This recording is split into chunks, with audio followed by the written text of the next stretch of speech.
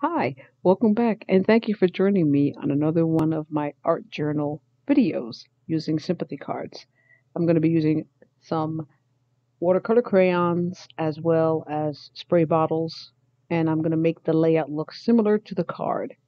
And I will list all the items that I use in the description box below. Enjoy.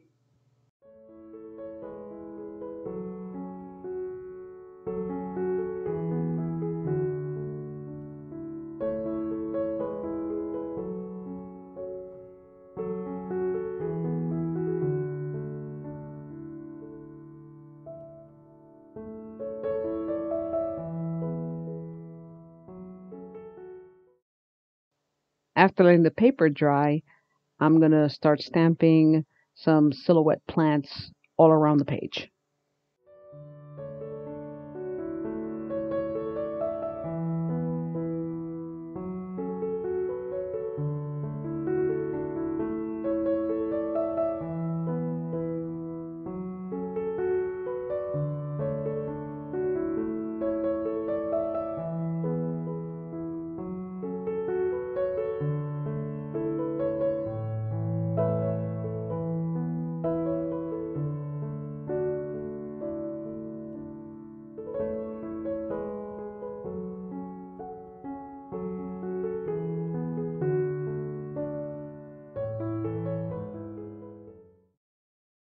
And of course, here I'm signing off at the bottom of the page and included some close ups.